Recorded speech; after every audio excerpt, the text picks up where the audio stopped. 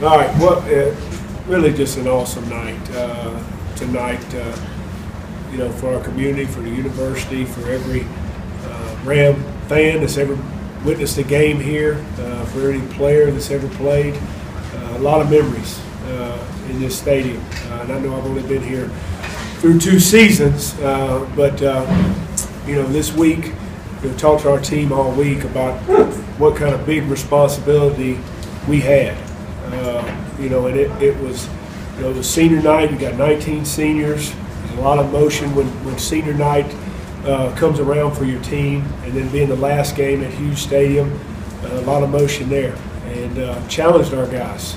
You know, after a disappointing loss last week on the road, you know, to do our job and uh, to handle it with excellence and prepare with excellence. Uh, and really proud of our coaches and our players of how they responded and came out here and uh, played the way, the type of football uh, that uh, you know I expect us to play week in and week out. And I thought it was a great showing by our fans. I love seeing the student section full. You know, we're moving into a new stadium. It's how it needs to be every week. You know, we need to start a new tradition of selling out every football game. But, uh, you know, great win, great team win. Thought we played well, thought we played hard, we played physical. We won the line of scrimmage, and uh, that's what you got to do in this league to win football games. Is that the way you saw this game playing out? Is that you would outrush the nation's top rushing team, hit 412 yards rushing? Well, no, I didn't think we hit 412 yards rushing, uh, but uh, I, I felt good about our rushing plan. Uh, they're a big pressure team. Uh, we weren't. We, we knew coming into the game. You know, we weren't going to be in a lot of 11 personnel or a lot of open sets. Prepared our kids for that. You know, you know, told those receivers that it's going to be one of those games where we're going to play a lot of two receiver sets, a lot of one receiver sets, to have two tight ends attached. Uh, you know, so we could protect both the edges uh, and, and try to set walls in the run game. And uh, I thought our coaches offensively did a great job coming up with a, a great game plan. Uh, Nick did a great job of executing and getting us in the right play. Uh, early in the game, they were doing some stuff different.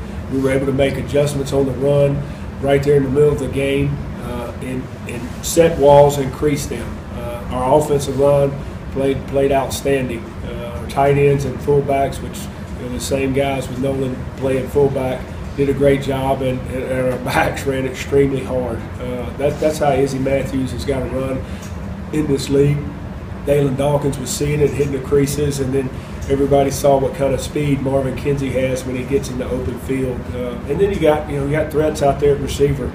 You know, I, I felt we could throw it as well to Gallup, but uh, you know being able to control the line of scrimmage and control some of the clock in the first half was huge. I know in the second half we scored so fast.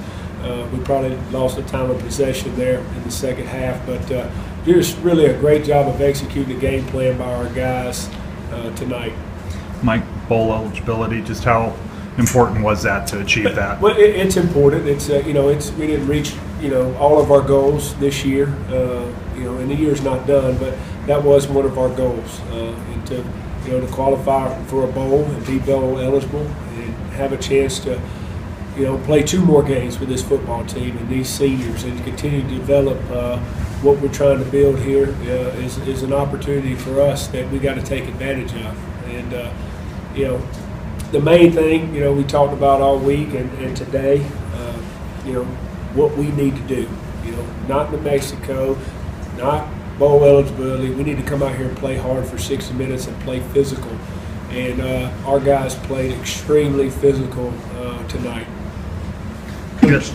This closing down a stadium may be a unique situation. Do you can you put in perspective what tonight means closing the stadium down for the last time, walking off the field for the last time? Well, I think it was a pretty uh, amazing scene there uh, at the at the end of the game.